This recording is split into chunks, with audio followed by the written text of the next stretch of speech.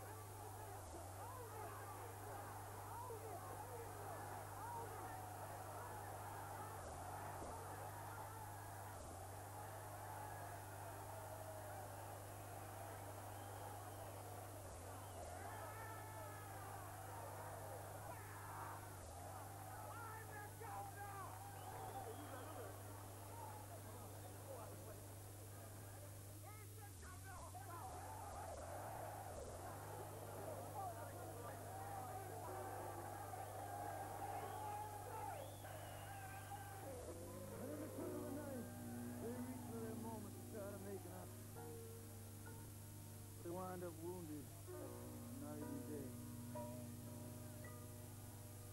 Tonight is your good land.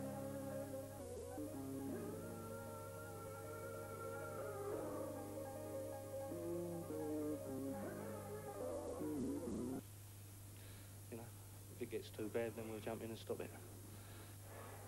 Dr. Reg Parker's most notorious promotion was to stage a challenge to Lenny Mean Machine McLean, giant of the unlicensed ring known as the Governor.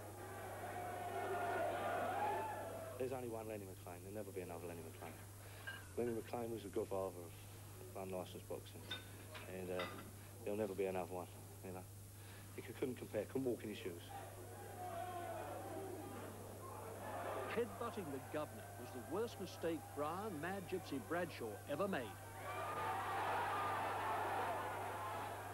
The uncontrolled violence showed the depths to which unlicensed boxing can sink. The referees struggling to restrain the enraged Lenny was referee again at last Monday's unlicensed event. Oh, he was knocked out, obviously, but his tongue was... Uh, I grabbed hold of his tongue first, laid him on his side. Bradshaw recovered. That'll be an experience. Come on, call the governor. That'll be an experience. Show me your hands. Not bad. Not as bad as mine, but I'm a lot older. I mean, I've had bare knuckle fights for money. I've had unlicensed fights for money. And as you say, in the 70s, late 70s and the 80s, I was the absolute governor on the cobbles. No one in England could beat me. Now, I've retired because I had a bit of trouble a couple of years ago. You're using this now? So now I'm using this, and I'll do a lot of poetry. But let me give you a bit of advice. Always keep yourself fit. Always be strong. And train hard. Even though bare knuckle fighting don't normally last more than two minutes, but always keep yourself fit and strong. And remember, as you fight, you start getting a reputation. And there'll always be mugs out there looking for a rep. Right. So always be on your guard and always keep strong. If you're strong, you'll always be in front of the other guy. Always remember that. Keep strong and fit and hate from there to your ankles. Hate so much. Oh, say we have a fight. I mean, say we have a fight and we donate. I'll go, oh, he's not a bad guy. He's not a bad Yeah. guy. He's not a bad guy. You understand? Yeah, right. Now, if, Yeah, and now, now, lands now, one on you. Also, right. now before Yeah, the fight. I'll go, I hate him. I hate him. Why do you hate him? He just interfered with my wife, interfered with my kids. I Right. right. Take your head right off, smash everything, smash everything from here, smash everything. Because I hate. I left school and uh, I started fighting uh, in clubs and pubs. And they went, Lenny's the toughest guy, Lenny's this, Lenny's that. And I fight them, and I like this, I like the idea of this. And then, uh, and then some business people put some money together. And I was fighting bare knuckles and bashing everyone up and getting a few quid. Belt yourself up. Come on. Sorry? A few belt yourself. No, not street fighting. Sometimes. Never. Just see, I'm too quick, too mad, and too aggressive. Listen, never. I've never, never, I've never lost a fight on a No, couple. no, no, you haven't lost. But I've you not- got to take some, some. No, no. Yeah, one or two, but when you're when you're cranky and you're having a tear up, that ain't and that you because you're you're you're too busy going to work yourself to worry about little bits of pain. Say we're having a fight, you shave up, right? Right.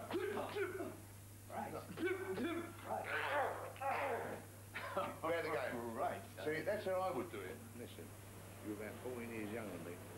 Get your few quid, get your few quid, and, put it into something, because you don't want to, I mean, it's not the greatest game in the world, but it's an easy few quid. Because I'm not saying the first, see, you're, you're what I call in the game, brown spanking new. You know, I mean, me, I'm, I've been in it so long, I've been mining clubs and doing this and fighting all my life. All my life I've been fighting. Come on, there's got to be a better life than that. I want, I want to know what's in that bowl, because all I keep seeing is people keep going to the bowl getting the cream, I don't get no cream. Right. All I get is the egg. Yeah, right. So now I want some cream. I'm entitled to it. So now I want what I'm entitled to. I'm 45 nearly, I want some cream. I think I'm entitled to that, don't you? yeah. Son, here's my hand, here's my heart. Be the strongest and the toughest in the game, because it's an old game. All right, boy? I love you. It's not a weight.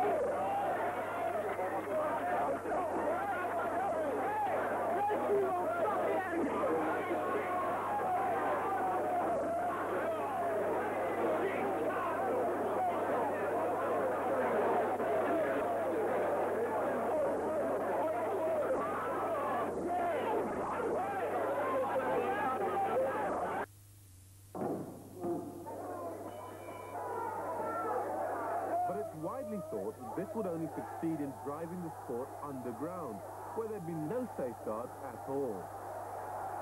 In short, it would be a recipe for disaster. Supporters of the unlicensed game need to pay to watch. These people ban, ban boxing. How can you ban boxing? You go underground, it'd be worse than, than what it is now. I mean, you say there's a, there's a show of the water uh, in three weeks' time, an unlicensed show. But people will go to it because there's a couple of characters on there who reckon they're going to nut and kick each other. So, so we'll go and watch it. Sunday lunchtime at the King's Public House at Ilford.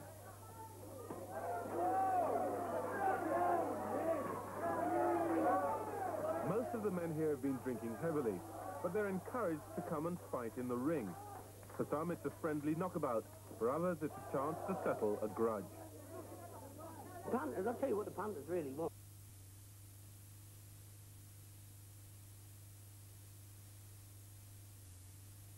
Trouble. But elsewhere, we've found evidence that old-fashioned unlicensed boxing, where anything goes, is still going on in the capital. He's dead. He's dead, boy. Boy, he's dead. He's, he's gone. He's dead. Lenny McLean, on the left, made his reputation as the hardest man in London in the unlicensed ring. They call him the Governor. He's famous for his ferocity and is still fighting in London. What's the last fight you've had? Uh, the last, what, with, with, with the things on? Yeah. With, I fought a guy from, uh, uh, a guy challenged me from Tottenham, uh, 21 stone, six foot seven. He was only about 23 years old. He wanted a reputation. He, uh, he was a bit tasty around Tottenham. And uh, I fought him at Woodford open air. And I tore his head off in about 30 seconds. And then as he went over, I gave him a to while he was unconscious. Uh, just to let him know, don't try and get a reputation on the strength of me. What's a straightener? Well, a straightener is like me and you, a straightener. Right, Right, now no villainy, no kneeing, nutting or kicking or biting. right, Right, and then, then we'll stick to the rules of a straightener to whoever goes. right. And, uh, you know, I'd win. And we'd nick a few quid, uh, and that's it. Or then I'd say to you, like, would you want an all-in? If you want an all-in, then, then I, I'd, I'd do you with a nut, you know, and uh, I'd make sure I win. Quick with a nut there, you? Uh, You're quick- oh, I train every day. You've got to keep the youngsters at bay. According to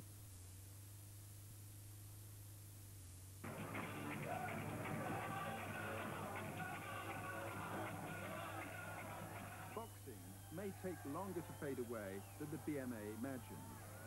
The public taste for spectacles of violence is apparently as strong as ever. In recent years, unlicensed fights have been promoted outside the boxing board's control and emphasizing the uglier side of the sport. Boxers who had passed their prime and in other circumstances might have been advised to have given up, carried on regardless.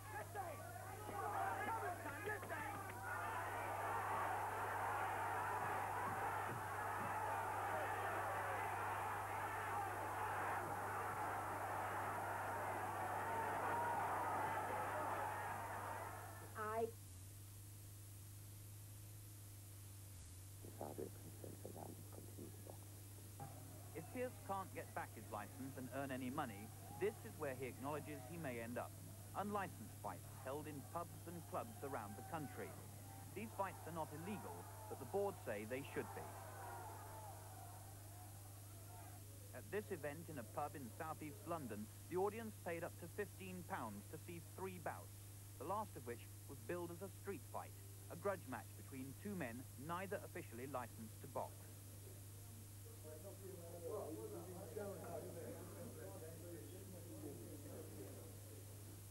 Inside the ring, the referee was virtually powerless to stop an explosion of violence.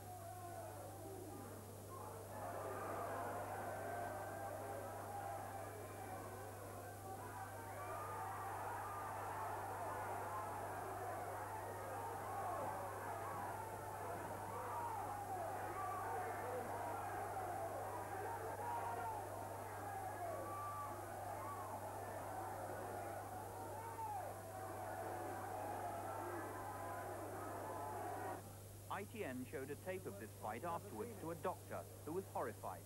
He was especially concerned at the apparent lack of medical attention shown to the loser. The fight promoter said David Pearce has been approached to take part in unlicensed boxing. If it gets too bad, then we'll jump in and stop it. Dr. Reg Parker's most notorious promotion was to stage a challenge to Lenny Mean Machine McLean's ring, known as the Governor. There's only one Lenny McLean. There'll never be another Lenny McLean. Lenny McLean was a good father of unlicensed boxing. And uh, there'll never be another one, you know. He couldn't compare, could walk in his shoes. Headbutting the Governor was the worst mistake Brian Mad Gypsy Bradshaw ever made. The uncontrolled violence showed the depths to which unlicensed boxing can sink. The referee, struggling to restrain the enraged Lenny, was referee again of Ross Munder's unlicensed event. Yeah, obviously, but strong with uh, quite dog with tongue for laid him on the side. We understand Mad Gypsy Bradshaw recovered. Roy York, like the hero of the film Rocky, keeps his strength up, heaving around great sides of meat in Smithfield Central Market. Okay, we're going to be meeting another late night kind of guy now. He's over here. Lenny McLean, champion street fighter of Great Britain, and currently holding the title of the governor, with his producer, Sheena.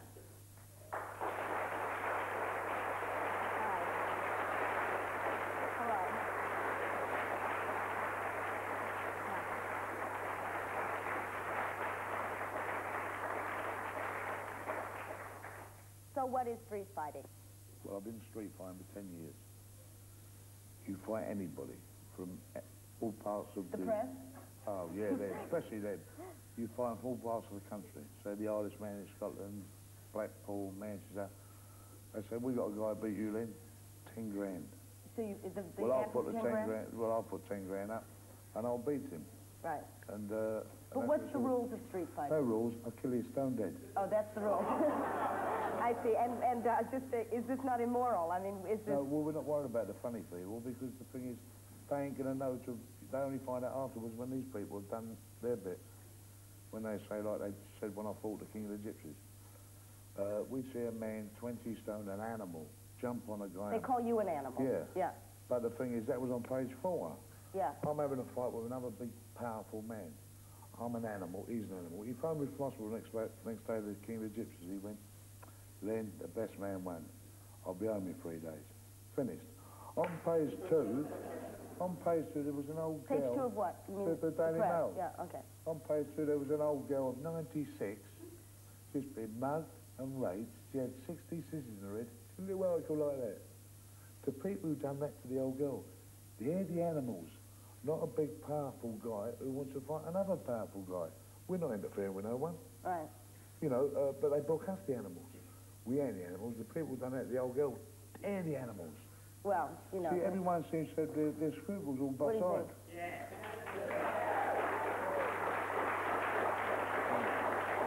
I mean, How'd you get so aggressive? I mean, what? Well, what did uh, something happen to you? No, uh, well, uh, I had a very strict upbringing. I had a, a stepfather who used to think uh, to you was marvellous. But outside the home, everyone thought he was marvellous taking on five children. Right. But in, inside the home, he was very aggressive and powerful. And did he hurt you? Well, uh, when I was eight, nine, ten, not when I become big, Right. he slipped away. Yeah. I think he's in Iceland now. Are you looking for him? Yeah, he's in Iceland. This would make a good film. Well, he's, he's in the film and he ain't coming over too clever. What about the police? What do you think of them? Uh, well, you know, they got a job to do. I've got, I've got my job to do. Do you think you're similar? No, we're not having a love affair. but, you know, uh, we've got to have police because the thing is I could come in your home tomorrow and say, this is mine. Ta-da. Take it, Lennie. No, but what? No, I like that answer. You know, this is, this is, this is it. You've got to have them. Right. Uh, and that's all there is to it, you know. How do you get on with your kids? What do you tell My them? kids, that what do you tell them you do? Ah, well, they know what I do. But it's a good education because they know I would never allow them to do it. Because I've had to do it. But they won't have to do it. I shall make sure of that. do you ever give them a swap? And Never. I never. Really? Anyone who hits, listen to me, anybody who hits kids, are they are bullies because they can't hit anyone else, so they hit kids. My two kids, 15, 16, I'd never ever hit them. I love them, they're my babies, how can I knock them about? They're a part of me. Anyone who hits kids, they're bullies. Right. But my babies are beautiful, I love them. My boy could never do what I do, I wouldn't let him. I've only been hurt twice, where two guys shot me in the back. What they done? Well, because I had a tear up down a club with some people. I had a tear up with 18 people. I put nine in and the other nine run away. so they put, they, they banged me up in the neck, and they said, uh, they kept me for two days. They said, Danny, look, we can't nick you because you have five 18, but we've got right to the DPP, it's Deutsche Public And he went back, he said, there's no way we can nick one man from the fight of 18, it'd be laughed out of course. So I got out of that, right? Right. And two weeks later, as I was going home, there's like a little dark alleyway. Two rats pulled up on a motorbike. This is what I found out was. Right. And I unloaded a double barrel shotgun in my back. Uh, but you know why they're rats? They're, they're, they shoot me in the dark in the back. They're cowards. They couldn't face me, so they done it in the back. But they wasn't clever because they didn't get a reputation over it because they was too frightened to tell anyone. Did you Kate got find 'em? found out. No, Kate got found out. Uh, they was too frightened to tell anyone because I'd have killed them. They're rats. Right. Are they? Really, all I want to say is, I'm on your side. Don't, ah, yeah. I just, did you see this hand? This is like a heck of meat here. I mean, what's this, what's the story of this hand? I mean, how many, Well, I've had it since I was born. yeah. The, that's enough. Um, I've been fighting